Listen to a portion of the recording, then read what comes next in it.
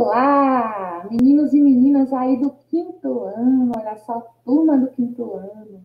Olha a Vanessa aqui mais uma vez para mais uma videoaula. Vamos lá saber sobre o que nós estudaremos hoje, gente? Olha só, turma. Essa aula agora é de linguagens. E nessa aula de linguagens, nós vamos estudar sobre, olha só, tem um título aí bem grande, né? Compreensão leitora resgatando a boa convivência. Esse é um tema aí muito interessante, porque a gente observa, a gente pensa logo aí na importância de convivermos bem com quem está à nossa volta, né? O ser humano é, é um ser social, um ser que precisa conviver com outros seres humanos, né?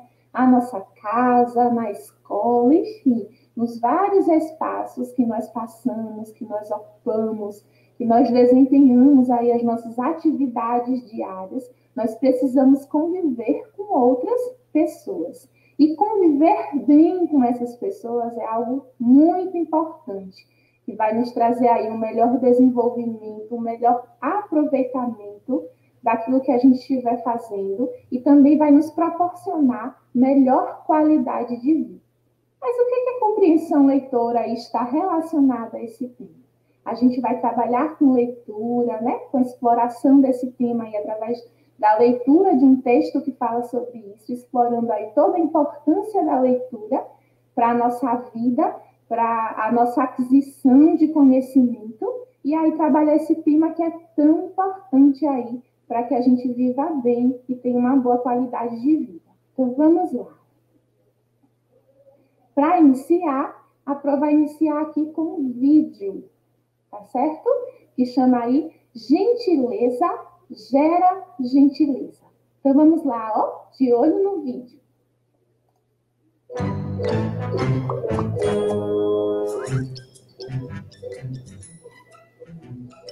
Bom dia, queridos amigos do YouTube. Em primeiro lugar, quero desejar para vocês um ótimo dia e. Já começou sozinha? Nossa, não sejam que nem essa pessoa. Que pessoa? Você, que chega atrasado e nem dá bom dia. Ai, que frescura. Não vai dizer? Bom dia. Mas animação, poxa. Coloca um sorriso aí. É de graça. Bom dia. Ei, Valentina, eu saí atrasado e não consegui comer. Você tem alguma coisa aí, tipo um sanduíche de dois andares bem bonito? As lombrigas estão reclamando. Nossa, faz tempo que a gente não come, né? Sim, olha, no mínimo 10 minutos. Vamos morrer de fome! Você tá falando desse sanduíche? E aí, não vai falar nada? Acabou o presunto da tua casa? Ei, não tem uma maionese aí? A resposta certa é obrigado. Ah, acho que eu não tô agradando muito hoje, né? Obrigado. E a propósito, tá muito bom. Agora sim, amigão. Dar bom dia, agradecer, sorrir, pedir por favor é importante. Sabe por quê? Porque aí o sanduíche vem com presunto? Não, porque se você fizer uma gentileza, a pessoa também vai tratar você de forma gentil. Gentileza gera gentileza, já dizia o profeta. E isso pode te dar mais sanduíche e mais presunto, não falei? É, até que você tá certo. E você aí, gostou desse vídeo? Se sim, por favor, dá um like gentil pra gente. Assim nós ficamos muito felizes e produzimos mais vídeos. Muito obrigada. Quero mais. Vídeos? Não, sanduíche. Hum, e o que mais? Ah, e se tiver suco? ah, entendi. Por favor, um sanduíche e um suco. Agora sim! Pronto, observando aí o vídeo né, inicial, a gente já inicia com essa frase aí que é tão marcante, que a gente vê aparecendo é, divulgado em diversos meios de comunicação, que é gentileza gera gentileza. E o vídeo inicia aí com questões, com ações que são bem simples é, relacionados aí a, a, ser gentil, a tratar as pessoas com educação, com gentileza, através das palavras, né? Conhecidas aí como palavras mágicas, é, que fazem toda a diferença, porque quando você aborda alguém dizendo bom dia, quando você pede desculpa, quando você agradece, né, com obrigado ou obrigada, quando você fala as palavras aí, por favor, é, automaticamente essas palavras geram um retorno bom daquela pessoa com quem você está se relacionando, da pessoa com quem você está falando. Porque se a pessoa está sendo tratada bem, né? O mais óbvio, o mais natural é que esse retorno aí também seja de bondade, seja também de gentileza. E aí a gente tem que levar em nossa mente, né, em nosso pensamento, é, envolvendo todas as nossas ações e todas as nossas relações com o outro, o pensamento de que eu preciso tratar as pessoas assim como eu gostaria de ser tratado. Você gosta de ser tratado com gentileza? Você gosta de receber um bom dia, de ser elogiado, não é? Ou elogiada, de é, ser tratada com educação, né? Com carinho, com afeto. Então, é muito importante a gente perceber que a, a nossa ação, né, vai ter uma reação. Então, se eu gosto de ser tratada bem, eu preciso também tratar o outro da mesma forma. E aí a Pro traz justamente a frase que a Pro acabou de falar, relacionada aí ao vídeo. Gentileza gera gentileza. É muito mais fácil você receber aí ações né, de gentileza, palavras de afeto, palavras que lhe deixam bem, que lhe deixam tranquilo, que lhe deixam felizes e alegres, quando você também utiliza essas palavras. Aí você acredita que a gentileza ela pode realmente né, gerar gentileza? E a traz outra pergunta para a gente pensar. O que é gentileza?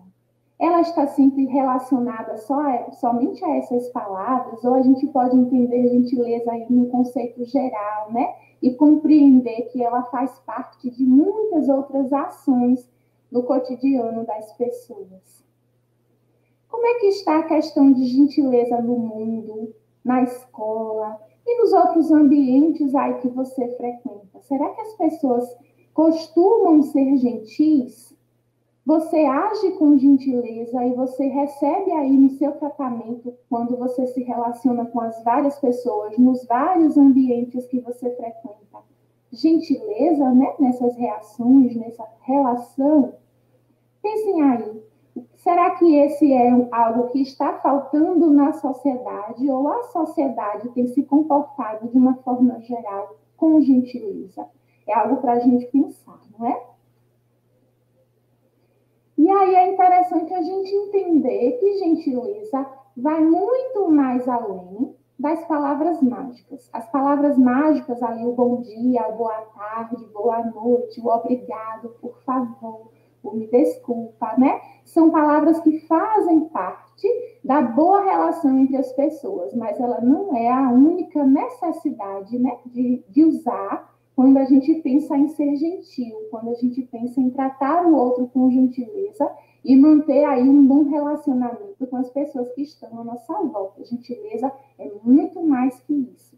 E aí, quando a gente vai lá no dicionário, a gente encontra a definição para gentileza dizendo assim: gentileza, qualidade do que ou de quem é gentil, gesto ou comportamento que revela amabilidade, delicadeza, simpatia, elegância, favor.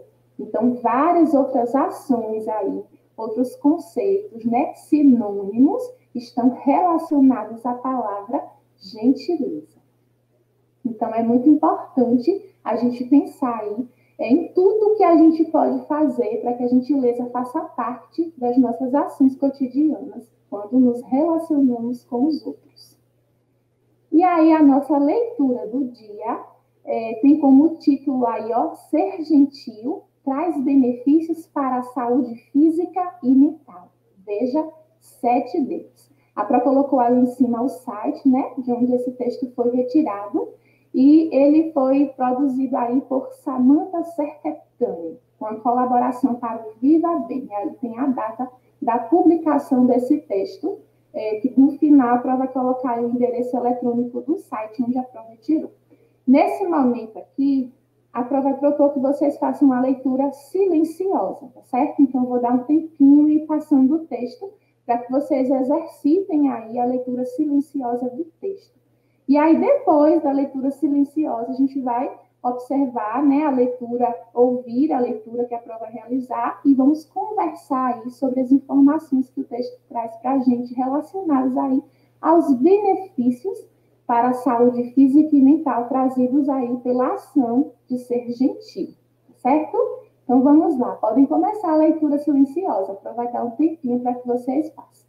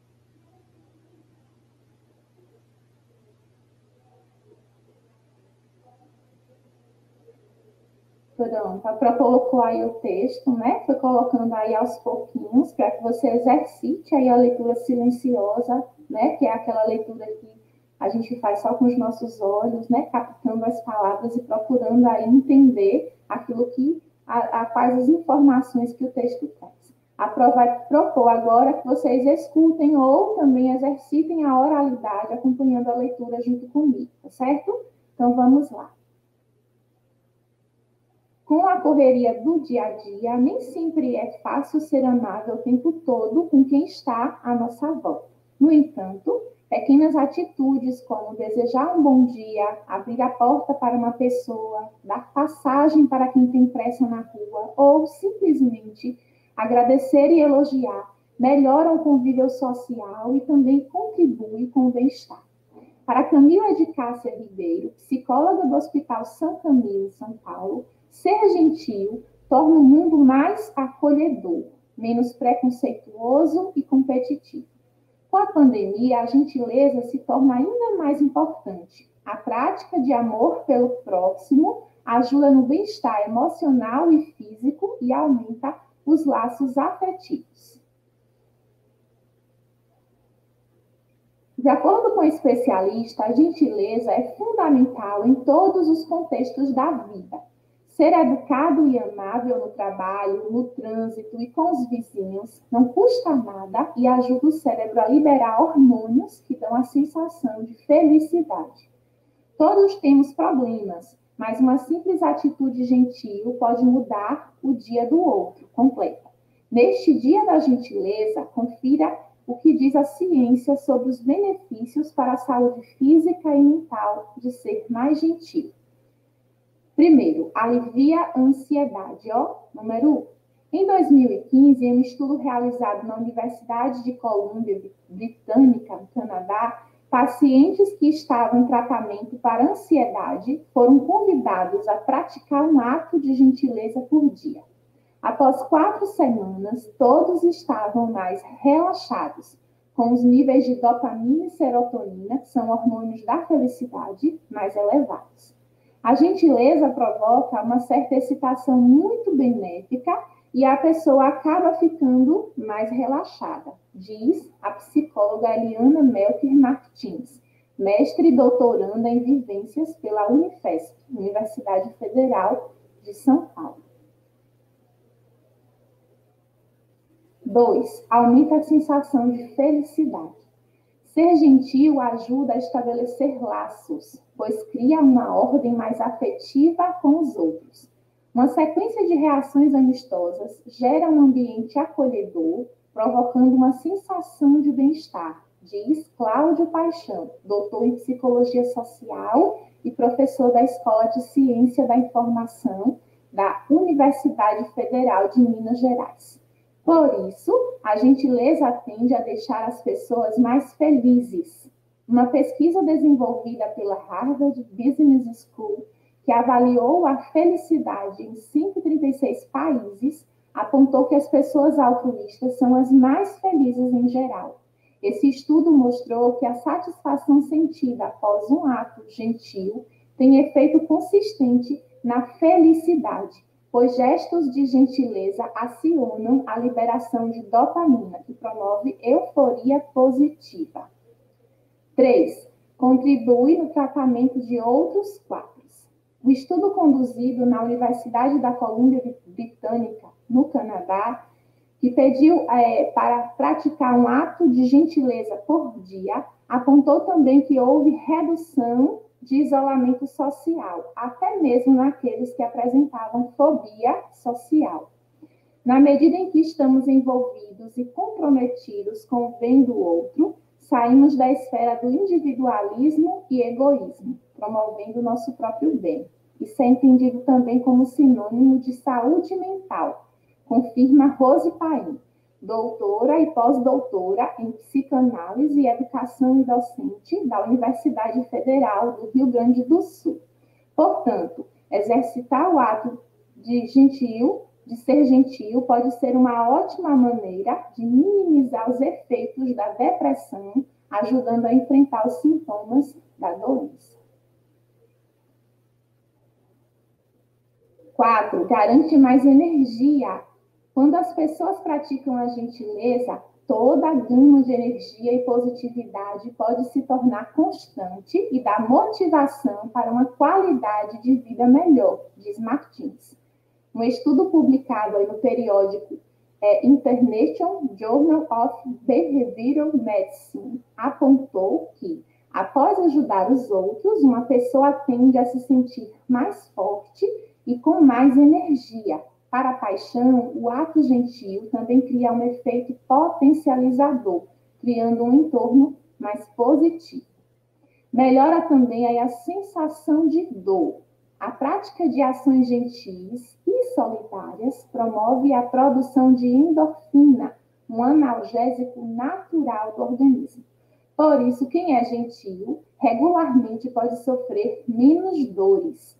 Um estudo clínico realizado pela Universidade de Sheffield, no Reino Unido, notou que pacientes que apresentavam dores musculares conseguiram uma boa melhora após receberem a indicação de serem mais gentis com os profissionais de saúde que os atendiam. Considerando que gentileza é uma forma de atenção e cuidado no trato com o outro, o desenvolvimento e a prática dessa qualidade relacional desencadeia sentimentos muito positivos. Confirma, tá? Seis, beneficia a saúde do coração. Segundo um estudo realizado pela Universidade de Miami, nos Estados Unidos, as pessoas gentis têm uma produção aumentada de ocitocina, um hormônio dos vínculos emocionais. A substância tende a diminuir os níveis de cortisol, é responsável pelo estresse, um dos grandes vilões para a saúde do coração. E sete, aumenta a expectativa de vida. Uma pesquisa realizada pela Universidade de Michigan, também nos Estados Unidos, mostrou que as pessoas que se ofereciam para ajudar os outros e realizavam trabalho voluntário por prazer viviam quatro anos a mais do que a população geral. Os pesquisadores acreditam que isso ocorreu porque os hormônios trazem diminuição do estresse no organismo. E aí, antes da gente observar né, as informações trazidas no texto, a Pro colocou essa pergunta aí, ó. Você já leu um texto assim? Olha só, este aí que a, que a gente acabou de fazer a leitura, né, silencioso, e agora observando, ouvindo, né, a Pro fazer a leitura ou fazendo junto com a Pro é, de forma oralizada, é um texto aí de divulgação científica, e a gente já observou quais são as características, né, de, desse gênero textual. Os textos aí de divulgação científica são aqueles que buscam compartilhar informações, pesquisas e conceitos científicos a um público que desconhece um pouco aí sobre, é, sabe ou sobre o assunto, né? Então, que a gente observa aí que através de pesquisas é, realizadas em diversas universidades espalhadas aí por todo o mundo, se observou que a ação de ser gentil, né? A ação aí da gentileza é observada em, em várias é, ações do, do, relacionamento das pessoas com o outro, com quem está em volta, traz aí benefícios para a saúde em diversos aspectos, emocional, físico também, não é? E a gente percebe aí o quanto que ser gentil proporciona bem-estar para o nosso coração, para a nossa energia, é, inclusive aí nos ajudando a sentir menos dor, a tratar determinados problemas, como a depressão. Então, a gentileza, né, o agir com gentileza, está ligado, e isso aí é trazido por informações científicas, né, pesquisadas, comprovadas, de que a gentileza nos traz aí diversos benefícios. E essas são aí as informações trazidas no texto e nós acabamos de fazer a leitura. E aí, agora? Só tem aqui alguns questionamentos para a gente pensar quando a gente observa a importância de ser gentil. Existe espaço para gentileza no mundo atual? Gentileza gera gentileza? Quais atos de gentileza são possíveis identificar na escola, em casa, com os vizinhos? O que podemos fazer na prática para se ter um mundo mais gentil? O que podemos fazer para que tenhamos um ambiente onde as pessoas sejam mais gentis? Percebendo aí através das próprias informações né, trazidas pelo texto é, e relacionando aí a ações simples, né, que não, não vão aí, nos, não vai nos custar nada, né? O ser gentil não nos custa nada, a não ser tratar as pessoas bem e ter aí em, em retorno benefícios para nós mesmos. Benefícios na forma como vamos ser tratados também, benefícios para a nossa própria saúde mental e também a nossa saúde física. É, você pode tentar identificar aí como é que a gentileza ela pode acontecer, como ela pode melhorar nos diversos espaços que você ocupa, que você participa, é, se no, nos, nos, vários relacionamentos que você tem aí com a professora, com os colegas, com sua família. Então, percebendo de que forma a gentileza ela pode é, sair, né, entrar na sua vida e sair também das suas ações aí de forma prática, de forma também ativa, porque a gente não precisa ser gentil em apenas um momento, em apenas um dia aí específico. E aí, para, né, chegando ao final aí dessa videoaula, a Pro vai trazer aqui é, a apreciação desse vídeo, é, que foi aí publicado em homenagem ao Dia Mundial da Gentileza, que é comemorado no dia 13 de novembro.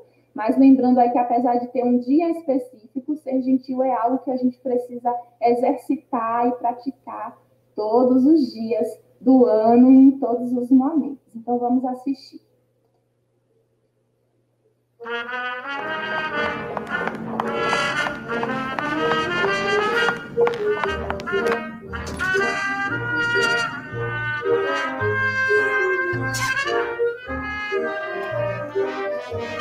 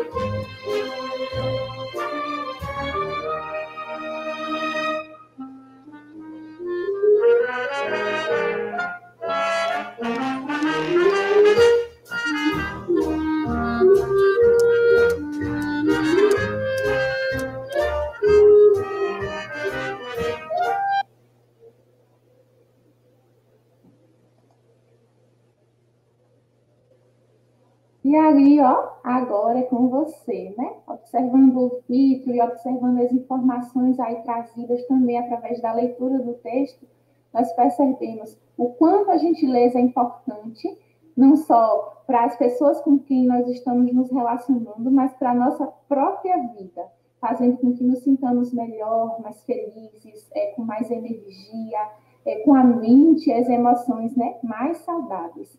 E aí existem coisas muito simples de fazermos no nosso dia a dia, né? E sermos gentis com os outros.